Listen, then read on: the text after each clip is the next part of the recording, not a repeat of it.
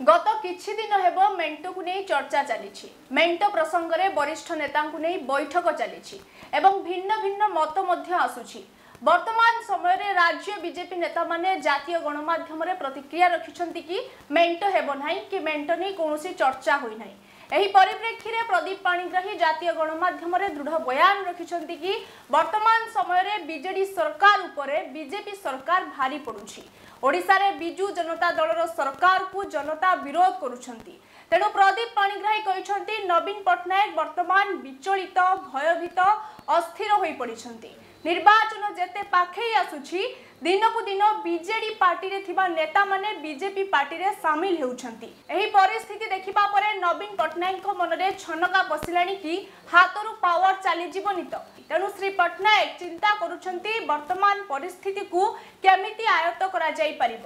ଏହି ବୟାନ ରଖିଛନ୍ତି ପ୍ରଦୀପ ପାଣିଗ୍ରାହୀ। ଏପଟେ ମୋଦିଙ୍କ ହାୱା ବେଶ ଗରମ ଅଛି। ଦିନକୁ ଦିନ ମୋଦିଙ୍କର ଲୋକପ୍ରିୟତା ଲୋକ ସମର୍ଥନ ବଢୁଛି। জনতা, ভারতীয় জনতা পার্টিকে সপোর্ট করুচার প্রদীপ পাণিগ্রাহী কহা কথা অনুযায়ী ওড়শার বিজেডি সরকারকে লোকে বিরোধ করুবার সেমানে বিজেপি সহ মেট করা চাহুমান এবং বিজু জনতা দলর সরকার দুর্নীতিরে মধ্যে লিপ্ত রয়েছেন তেণু ইডি সিবিআই ভয়রে বিজেডি বিজেপি সহ মেট করা চাহুছি তেণু নবীন পট্টনাক নিজ দলর স্বার্থ পাই বিজেপি সহ মেট করা চাহুমান তবে এই পরিপ্রেক্ষী প্রদীপ মাণিগ্রাহী কিন্তু যদি দম অছি বিজেপি কু একুটিয়া ফেস করতু এপটে বিজেপি রে কিছু তুঙ্গ নেতা মেন্ট প্রসঙ্গে প্রতিক্রিয়া রাখিছেন কি আমি মেন্ট করবু না একাকি লড়িবু ওড়িশার বিজেপি সরকার গড়িবু মুখ্যমন্ত্রী বিচলিত অস্থির একথা সম্পূর্ণ সত্য দুই হাজার নরু ଯେତେବେଳେ ମେଣ୍ଟ ଭାଙ୍ଗିବା ପାଇଁ ପ୍ରସ୍ତାବ ମୁଖ୍ୟମନ୍ତ୍ରୀ ତରଫରୁ କାଟିଲେ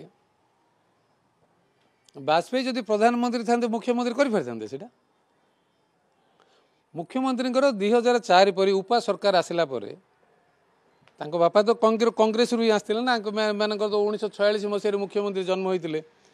ତାଙ୍କର ତ ଡୁନ୍ ସ୍କୁଲରେ ରାହୁଲ ମାନେ ରାହୁଲ ତ ନୁହନ୍ତି ସଞ୍ଜୟ ଗାନ୍ଧୀ ରାଜୀବ ଗାନ୍ଧୀ ସାଙ୍ଗରେ ପାଠ ପଢ଼ୁଥିଲେ ସବୁ ପରିବାର ବର୍ଗ ସବୁ। ଏମିତି ନଥିଲେ ତାଙ୍କର ସମ୍ପର୍କ ନଥିଲା ନେହେରୁ ଗାନ୍ଧୀ ଫ୍ୟାମିଲି ସହିତ। ପୂର୍ବ ସମ୍ପର୍କକୁ ପରିବାର ପୂର୍ବ ସମ୍ପର୍କକୁ ଯୋଡ଼ି ଦୁଇ ହଜାର ଚାରିରୁ ଚଉଦ ପର୍ଯ୍ୟନ୍ତ ଚଳେଇ ଦେଲେ ଉପା ସରକାର ସାଙ୍ଗରେ। ସାଙ୍ଗେ ସାଙ୍ଗେ ବାଜପେୟୀର ସରକାରଙ୍କର କେନ୍ଦ୍ରରେ ନ ଆସିବା ପରେ ତାଙ୍କେ ମତ ବଦଳାଇ ଦେଲେ କିନ୍ତୁ ମୁଖ୍ୟମନ୍ତ୍ରୀଙ୍କର origin political origin starts from Janata Dal then ଓଡ଼ିଶାରେ ମୁଖ୍ୟମନ୍ତ୍ରୀ ହେବା ପାଇଁ ବାଜପେୟୀଙ୍କର ଆଶୀର୍ବାଦରେ ସହଯୋଗରେ ବ୍ୟବସ୍ଥା ଭିତରେ ନୂଆ ଜନ ବିଜୁ ଜନତା ଦଳ ଗଠନ କରିବା କୋଆଲିସନ୍ ପାର୍ଟନର ହେବା ବାଜପେୟୀଙ୍କର ଆଶୀର୍ବାଦରେ ମୁଖ୍ୟମନ୍ତ୍ରୀ ହେବା। ଏକଥା ସମ୍ପୂର୍ଣ୍ଣ ସତ୍ୟ। ଇଭେନ୍ ଅର୍ଥ ରାଜନୈତିକ ଅର୍ଥ ସହଯୋଗ କରିବା ଦଳକୁ କ୍ଷମତାକୁ ଆଣିବା କାର୍ଯ୍ୟକ୍ରମ ବିସ୍ତାର କରିବା ଏସବୁ ବାଜପେୟୀ କରୁଥିଲେ। ଦୁଇ ହଜାର ନଅ ପରେ ହଠାତ୍ ସିଏ ମେସେଜ୍ ଦେବା ପାଇଁ ଚାହିଁଲେ I am only secular in entire world ଯେଉଁ ୱାର୍ଲଡ ଷ୍ଟାଣ୍ଡାର୍ଡ ସେକୁଲାରିଜିମ୍ଟା ସାର୍ଙ୍କର ଅଛି ସେ ସେକୁଲାରିଜିମ୍ର ରିଡିଫାଇନ୍ କଲେ ରିଡିଫାଇନ୍ କଲେ ସେକୁଲାରିଜିମ୍ ଥିଲା କନଷ୍ଟିଟ୍ୟୁସନାଲ ପ୍ରୋଭିଜନରେ ସେକୁଲାରିଜିମ୍ ନୂଆ ୱେରେ ଡିଫାଇନ୍ କଲେ ଆମ ଚିଫ୍ ମିନିଷ୍ଟର ଆଉ ଦୁଇ ହଜାର ନଅରେ କହିଲେ no no no alliance with BJP I am a secular I will stand by secularism ବୋଲି କହୁଛି ଛାଡ଼ିଦେଲେ। ଚଉଦ ଗଲା। ନଅରେ ତ କାଟିଲେ। ଚଉଦରେ ବିଜେପି ବିଜେଡି ଆଲାଏନ୍ସ ହେବା କଥା ବି ବିଚାର ବିମର୍ଶ ହେଇଛି। ନା ଆଇ ଷ୍ଟାଣ୍ଡ ବାଇ ସେକୁଲାର ଉଣେଇଶ ହେଲା। ଆଠ ନଅ ତ ନେଲେ। ସେଟା କେମିତି ନେଲେ? ନବୀନ ଆଉ ଭଲରେ ଜାଣିଛନ୍ତି। ଆଉ କେମିତି ଦେଇଛନ୍ତି ବି ସିଏ ଜାଣିଛନ୍ତି। ଉଣେଇଶରେ ଦେଇଛନ୍ତି। ଅଦୃଶ୍ୟ ବ୍ୟବସ୍ଥା ଭିତରେ ନେଇଛ ନେଇଛ ନହେଲେ ମୋତେ ମାଟି କରିଦେବ ତମମାନେ ମୁଁ ଜାଣିଛି। ବୋଲିକି ସେ କାହିଁକିନା ସୌରଭ ସାହୁ ଯେତେବେଳେ ଡାକିଥିଲେ ସେଟା ଉଣେଇଶ ମାଡ଼ଟା ଚଉଦ ପରେ ସୌରଭ ସାହୁ ଆସିଲେ। ସେ ମାଡ଼ଟା ଉଣେଇଶରେ ଆଠ ନଅଟା ଦେଇ ଦେଇଛନ୍ତି। ଏବେ ଚବିଶଟା ବଡ଼ ମାଡ଼ ହେଇକି ରହିଛି। ଝାଳ ନାଳ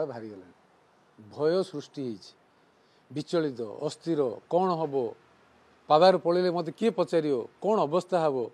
କାର୍ତ୍ତିକର କ'ଣ ଅବସ୍ଥା ହେବ? ସେ ଓଡ଼ିଶାର କାହାର ଅବସ୍ଥା କିଛି ଭାବୁନାହାନ୍ତି। ମୋ ପିଲାଟାର କ'ଣ ହେବ? କାର୍ତ୍ତିକର।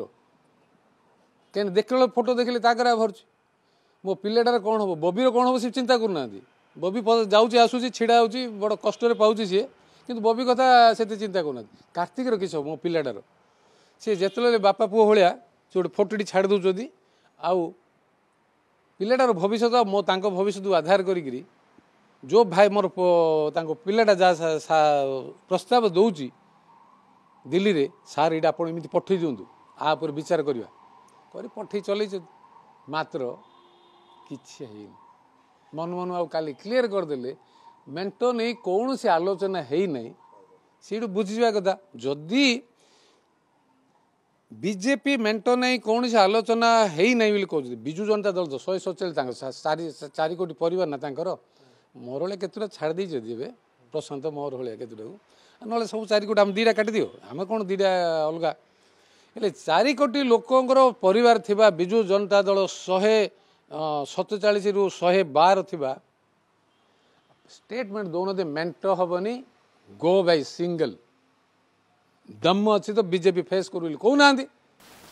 ରଖୁଛୁ।